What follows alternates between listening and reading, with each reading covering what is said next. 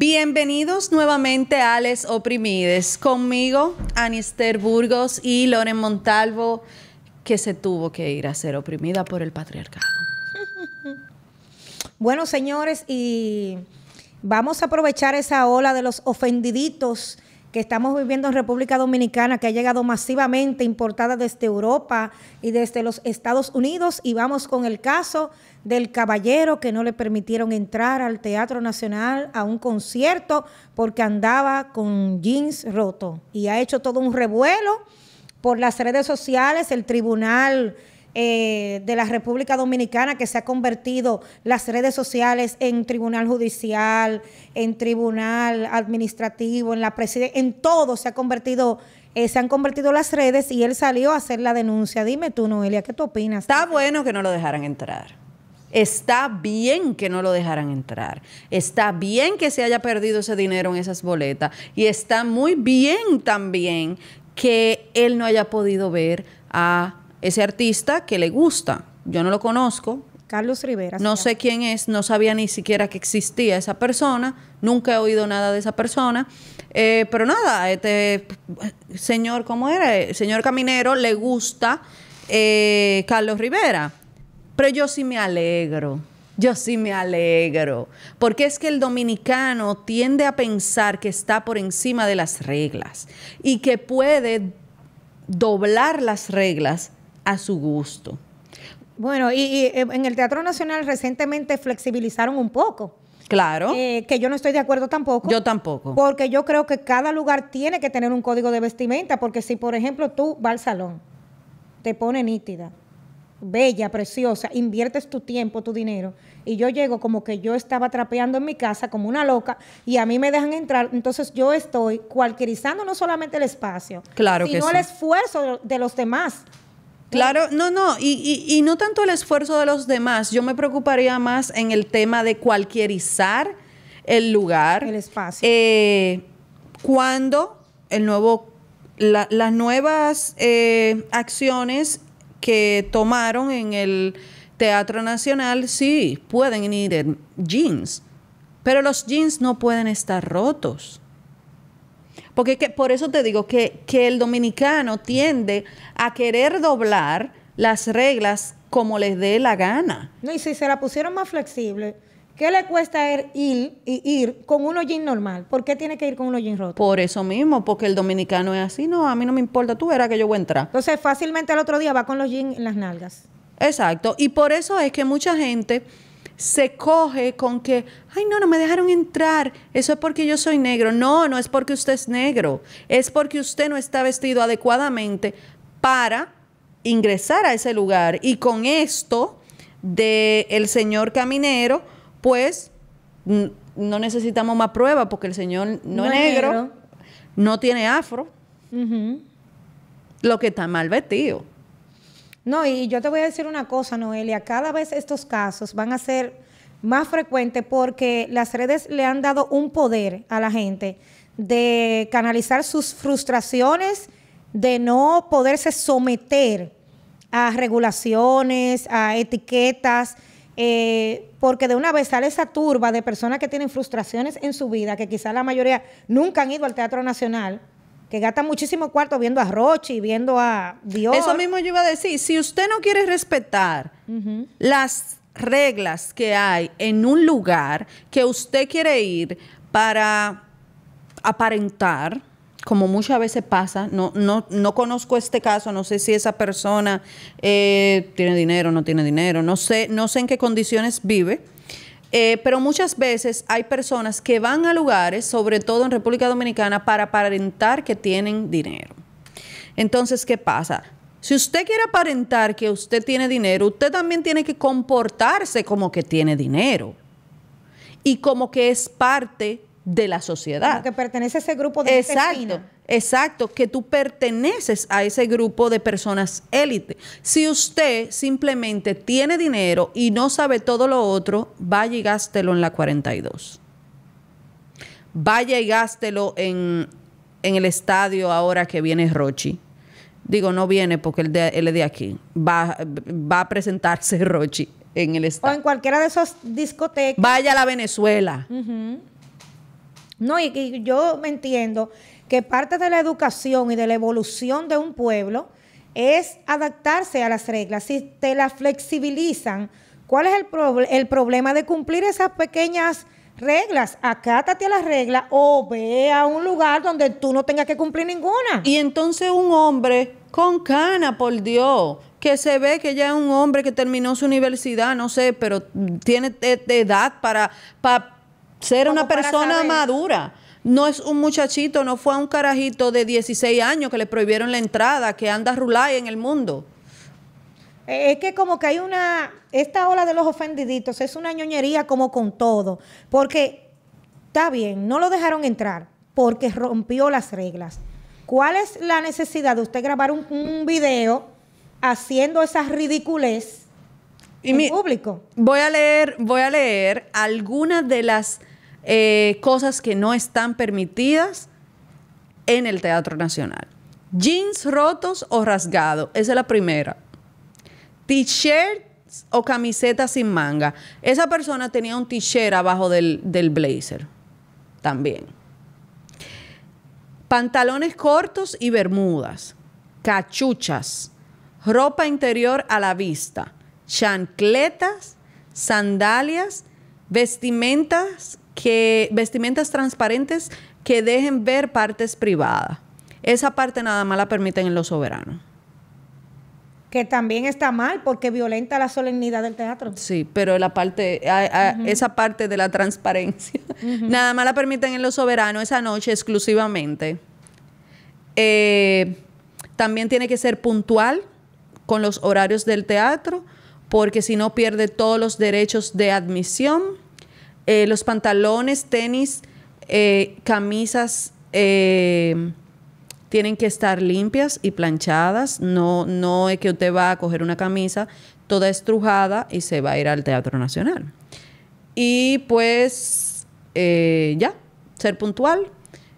Pero la gente no lee.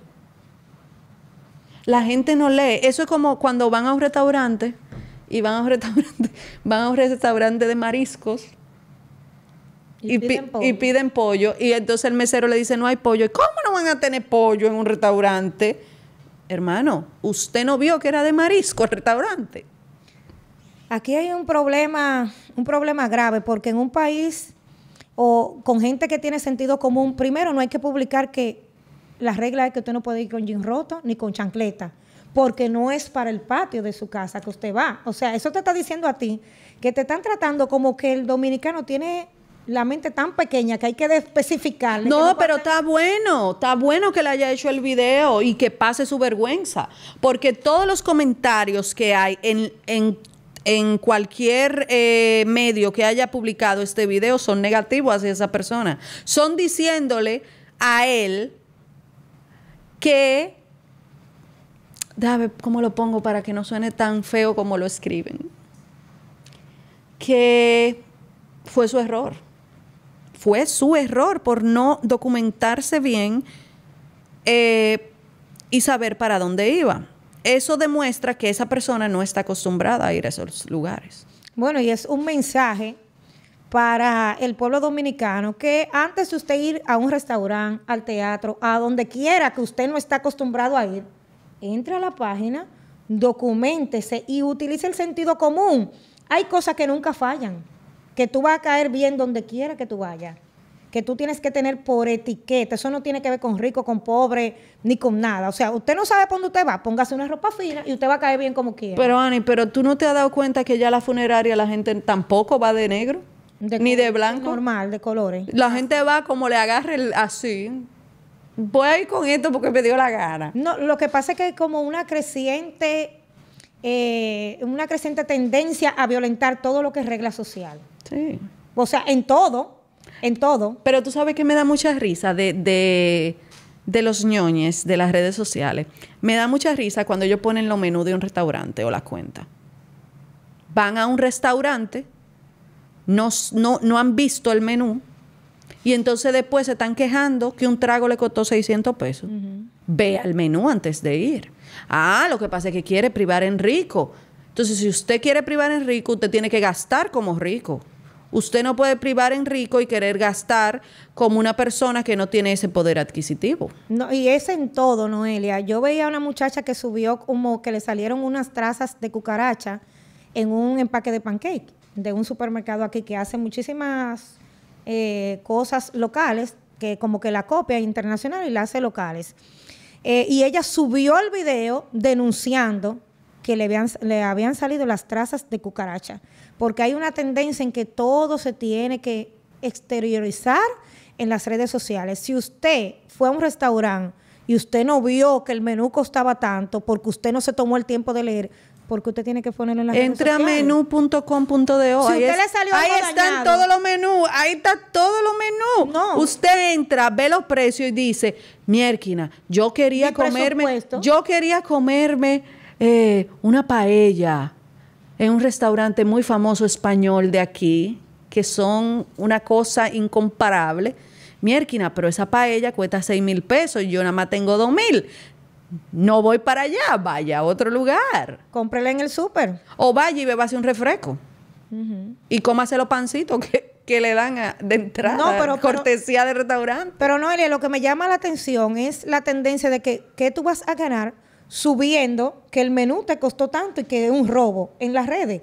Que tú vas a ganar subiendo que te salió No van a bajar los precios una por eso.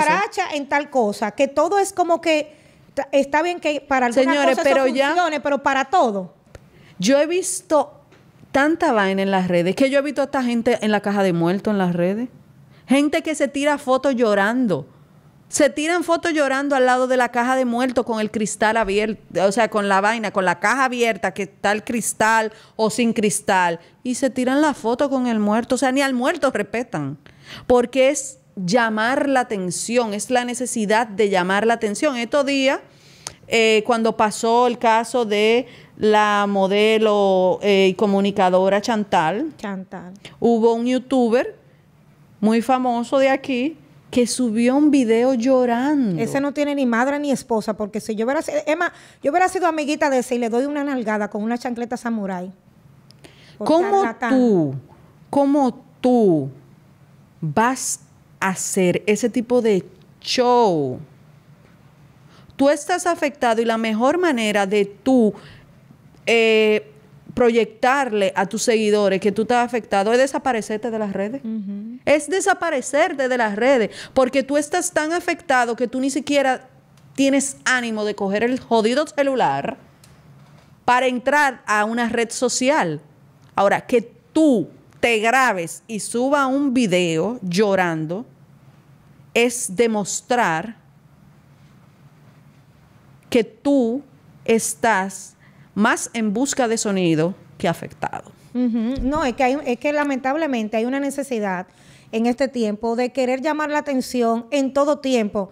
¿Estás feliz?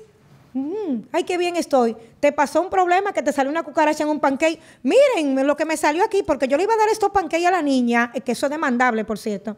eh, y me salió esto en este empaque por mi hermana. Grabe eso y lléveselo al supermercado y haga la denuncia en el supermercado, porque yo no soy dueña del supermercado, ni nadie que le está viendo es dueño de eso. Si usted está afectado porque le dolió la muerte de una amiga suya, Lo que pasa es que están acostumbrados a ver que en países de Europa y Estados Unidos, cuando tú haces este tipo de vaina, te dan una, una indemnización y la gente sale millonaria. sí, pero aquí no es así. Aquí no es aquí, aquí te dan otra caja de pancake Y con ya. la traza de cucaracha. Entonces, yo de verdad entiendo que esta es una generación muy débil. Eh, yo le llamo, y lo llamo no, de hecho es la generación de cristal porque de todo se quiebra. O sea, no te dejan ir a un lugar, tú lloras o vas a la marcha de la Plaza de la Bandera como un ridículo Ajá. a hacer un show. Si te alguien te, te dice, Noelia, tú no te puedes parquear ahí, ahí sale Noelia. Miren, el guachi no me dejó parquear ahí. Me está violentando mi derecho. No, mi amor, vaya a la administración de ese parqueo, de esa plaza, y quéjese, porque es que esta generación, todo, todo, todo, todo, es un bendito show en las redes.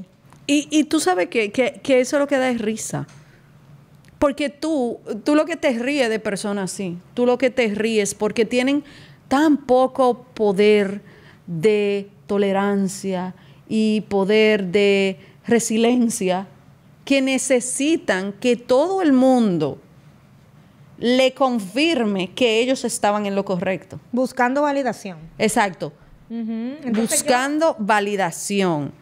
Yo lo que creo es que esa generación, esta generación tiene que ponderar eh, el poder de las redes. Sabemos que sirve para muchas cosas buenas, porque a veces hay cosas que... Sí, pero que por eso te digo, por eso hablé específicamente de la edad de, de, de, del caballero. Del caballero apellido Caminero, que parece que no ha caminado mucho en su vida. porque cuando son carajitos... Tú lo entiendes. De menos de 20 años, tú son muchachos. Pero cuando un hombre con cana, que se ve que está en sus 40 años, usted es un ridículo. Eso es lo que es usted. Usted pasó por ridículo y ahora todo el mundo lo está acabando en las redes sociales. No, y eso debería ya de parar. Esta generación tiene que llamarse a la reflexión y preguntarse si toda esa parafernalia, todo ese show de estar grabándose llorando, de que si le niegan la entrada a un restaurante, si no te dejaron entrar, vete a otro. Claro. Y ya, o sea, no. Porque tú lo subes en las redes no te van a dejar entrar. Es más, ah, te van a prohibir la entrada. No, y hasta que aquí no empiecen a demandar. te van a no, no es que nada más no te van a dejar entrar, sino que te van a prohibir la entrada para ocasiones futuras, para que ni pienses en ir. No, no, Eli, hasta que aquí no haya un precedente de una empresa que demande al que salga hablando disparate y que le ponga, lo deje hasta en cuero, lo deje sin nada, aquí van a seguir haciendo eso porque no hay necesidad. No te dejaron entrar, vete a otro. No te dejaron entrar al Teatro Nacional, pues entonces examínate y di, conchole, yo estaba mal, yo perdí mi dinero porque yo quise. Porque yo me podía poner unos Incluso, normales. Mira, es tanto así que ayer, ayer o antes de ayer, vi un tweet que me llamó mucho la atención, donde escribían una serie de restaurantes eh, que son muy bonitos, son caros, son muy bonitos, pero la comida es muy buena. Y lo estaban comparando con una serie de restaurantes nuevos que han surgido, que están muy bien decorados, muy bonita iluminación, un espectáculo para tú ir a tirarte fotos. Pero entonces, como ya ellos saben que la gente lo que va es a vitrinear y no enfocada en que voy para tal lugar porque cocinan bueno, no le prestan atención a los platos. Entonces tú estás en un restaurante y tú estás pagando una cantidad de dinero, no porque la comida es buena y de calidad, sino para que tú te tires fotos. Y, y diga, yo fui a tal sitio. Por eso restaurantes, no voy a decir los nombres, pero hay dos específicamente eh, aquí en Santo Domingo que son tradicionales son de tradición, de estos restaurantes que tu papá te llevaban a comer todos los domingos y cada vez que había un cumpleaños, el día del padre, el día de la madre, tú ibas al mismo restaurante y tú te quedas como con esa tradición y lo haces con tus hijos. Y esos, ese tipo de restaurante sigue teniendo una excelente comida, pero no son restaurantes que, que tú vayas a hacerte una sesión de fotos. Bueno, esta generación yo de Pero eso no son los que gustan. No, porque eso no tiene. Aunque sean caros también. Eso no son los que gustan. Los que gustan son los que tienen los espejos gigantescos.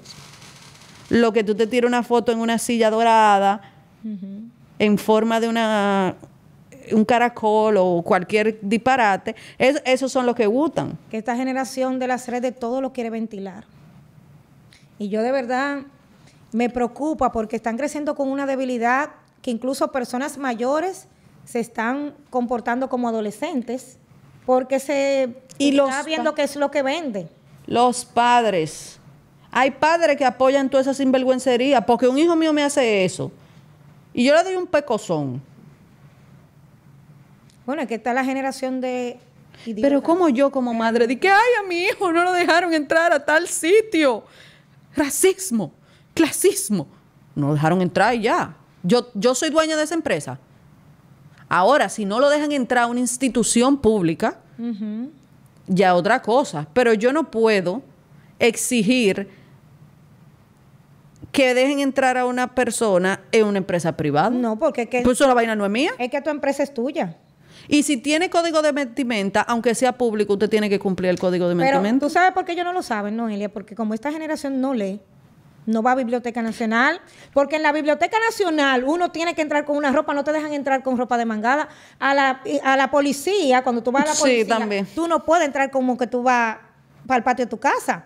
Y a ciertos hospitales y lugares de monja, de padre, tú no puedes entrar y que, que tú llegaste. Pero por eso, por eso hago énfasis en que me llama tanto la atención de que los padres de algunas de estas personas que se han hecho viral en las redes por estar de ñoños y dramáticos, están apoyándolo. Bueno. que deberían de tener más conciencia que sus hijos, no, porque si usted tiene un hijo de 20 años, usted por lo menos tiene 40.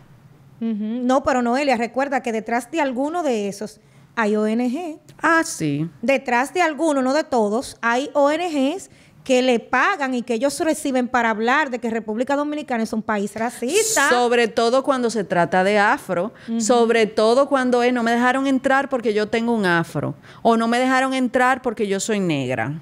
Bueno, si tú te fijas en los comentarios de ese caso, del de el Teatro Nacional, no están los aliados, no están No. los de la banderita, porque ese, como es clarito, no hay forma de conseguir dinero, no hay forma de conseguir visibilización de su tema.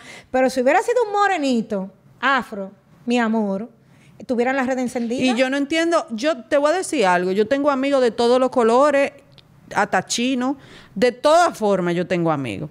Y yo nunca he visto que un amigo mío lo paren en una puerta, de que no, y nosotras, de nosotras, nosotros entremos y él se quede de que en la puerta, de que no, yo no puedo entrar porque yo no soy negro. Yo de verdad que no sé, hay cosas de esas que me resultan extrañas, muy raras. Hay casos que sí que son, que es verdad y que tienen la razón como este del Teatro Nacional, pero hay otros casos que el asunto está medio turbio con el tema de los afros, como yo, eh, que se ha vuelto una religión para algunos, pero para otros lucran y buscan dinero. Así que amigos, bueno, nos vamos a despedir. Déjennos por aquí su opinión. ¿Qué usted opina? ¿Debe o no haber códigos de vestimenta en ciertos lugares? ¿Y qué usted opina del señor este El caminero que no ha caminado. adulto que no lo dejaron entrar porque andaba como que iba para la 42? Nos vemos en un próximo podcast.